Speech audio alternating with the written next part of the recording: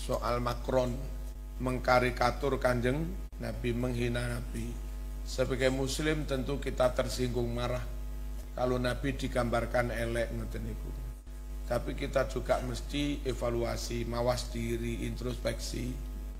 Wong Prancis itu kepada yang muslim biasa, muslim yang ramah model alusuna ngeten iki. Prancis welcome.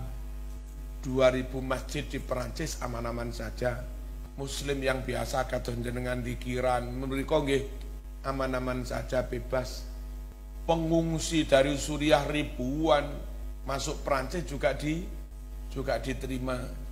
Nah, yang membuat Prancis marah mboten sing Islam-Islam ngeten iki. Yang membuat Macron marah polai ono ISIS ngoten niku. Teroris lho. Sing ISIS teroris kaum radikal yang membunuh sejarawan senior niku. Mangkel. Paham nggih? Jadi niku yang bermasalah niku Islam radi radikal, sanes Islam umum itu niki. Asli nih Quran piyambak itu melarang kita menyakiti orang lain. Melarang kita membuli, menghina, ngelek-ngelek agama di luar Islam. Yesus mau ilo-ilo ini ora oleh. Sang Yang Widi Mahasa mau ilo-ilo ini ora oleh. Zaman Nabi Braholo uzalata manata diilo-ilo ni diidon diusero-seri taek ya ora oleh. Dilarang kali Quran. Khawatir kalau simbol-simbol agama yang mereka anggap suci mau nyek-nyek, engkau ganti kono balas dendam ngilok-ngilok nih kanjeng Nabi.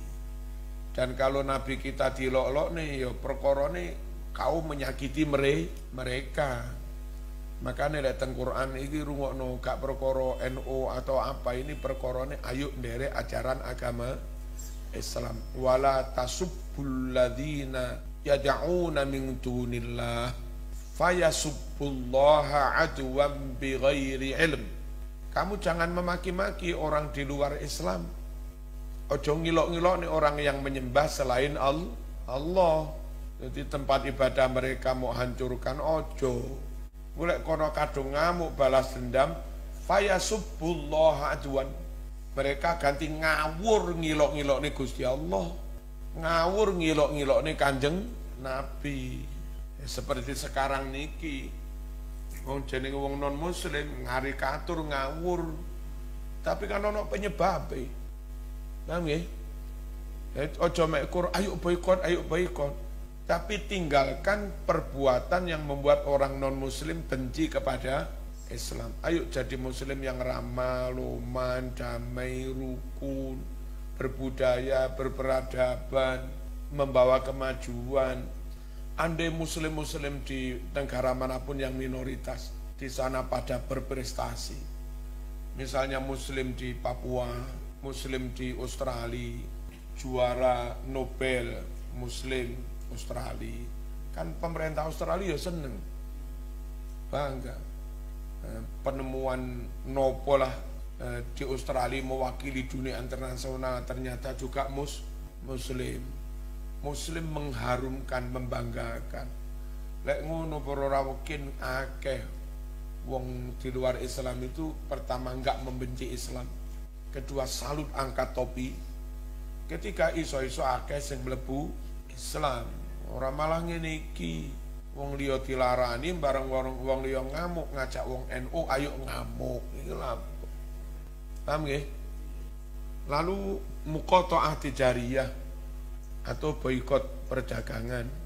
Boikot semua produk Prancis. Ini ya sulit.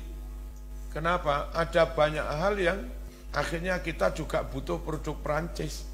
Saiki kenceng-kenceng, enggak usah minum Aqua, enggak usah minum Nestle, nggak usah minum macem-macem. Nggak usah belanja yang Carrefour.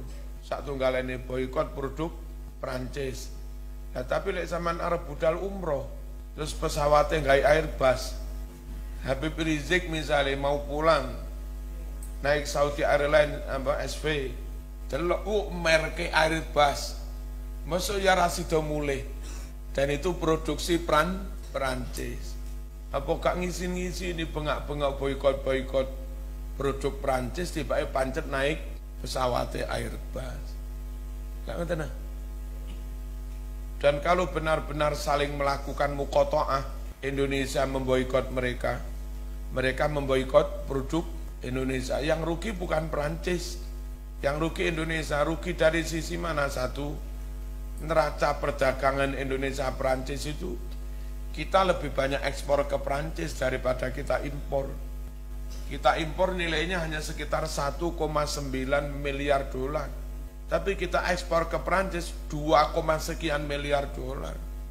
Lele eh, satu-saturan sampai enggak enggak ono perdagangan Indonesia Prancis sing remek ya Indonesia. Belum lagi semacam produk aqua teng pandaan itu masjid itu ya gede.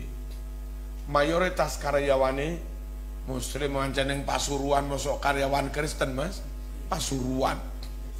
Terus tengene podo katon niku niku aqua. Rata-rata nggih muslim. Teng Semarang mereka rata-rata nggih muslim. Jadi andai di boykot temenan aqua mandek Carrefour mandek yang banyak kena korban PHK yo muslim ngerti sih terus nanti karena kita banyak ekspor minyak sawit mentah CPO, CPO, itu begitu saling melakukan embargo mukotoah, sama-sama kita boykot, kono juga boykot, maka sawit Indonesia terus harganya anjlok rapatek payu ning kono. Nah, nek iku sampai anjlok sing rugi gak mekor eksportir. Petani-petani sawit neng Rio. Nah, Rio bangkrut. Mohon-mohon ngeten ngidi itu ngeten. Aja syukur nuruti emo emosi. Lah dalah tibain nuruti karpe sing Islam aliran ker keras niku. Mau bareng sing kene gak melok-melok tiarani liberal tiarani kafir. Kon sing gawe perkara dadak kene diajak-ajak iki lapo nah tapi Kuwait kok melakukan pemboikotan? Kuwait ini boikot Prancis nggak ngefek yang Kuwait itu penduduk itu ngatur saya akeh kecamatan sukun dulu nggak Kuwait jadi sak negara Kuwait boykot, ini pada karo kecamatan sukun boykot enggak ngefek. Lagi pula Kuwait itu produksi apa? Kuwait itu dari Prancis ngimpor, masuk Kuwait ngekspor. Jadi andai Kuwait melakukan boykot, memang bisa merugikan Prancis. Tapi oleh Indonesia apa Prancis saling boykot, yang rugi Indonesia karena Indonesia negara eksportir, nggak podo konteksnya itu. Paham ya ngenten. Terus Nabi diilok-ilok nih gak saiki tok. Ke zaman Nabi Nuh mbiyen gawe perahu ya di ilok-ilok nih karo kafir gendeng kon niku ning daratan gawe perahu. Nabi Ibrahim ya diilok-ilok nih. Padha ae. Nabi Muhammad kali tiang kafir Quraisy kali tiang Yahudi ya padha diilok-ilok nih. Sairun majnun, sakhirun au majnun. Nabi Muhammad ini ngarani kono gendeng, tukang sihir, tukang santet.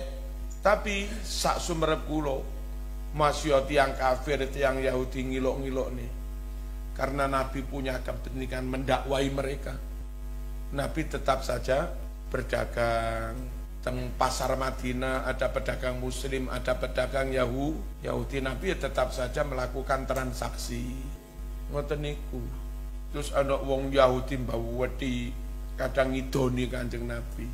Ana tiang Yahudi sing ora patek medhi gelem dadi pembantune Nabi. Teng Sahih Bukhari teng Baru ngono tiang Yahudi niku loro.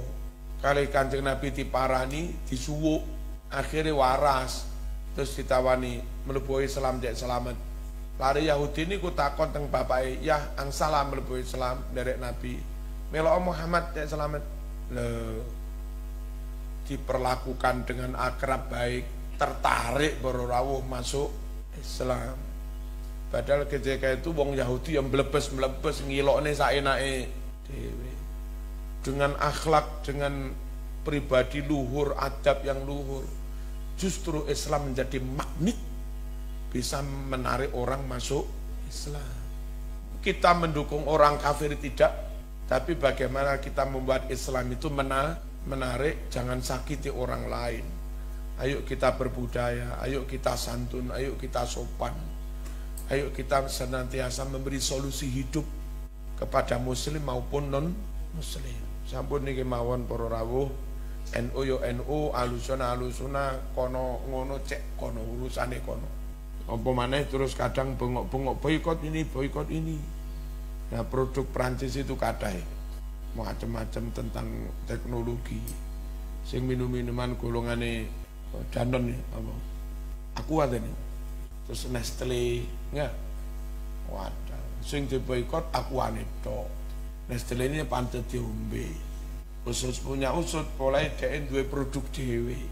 Iku jenenge yo ada udang di balik embaye. Ojo tuku iku tuku aku ae, nang padha ae.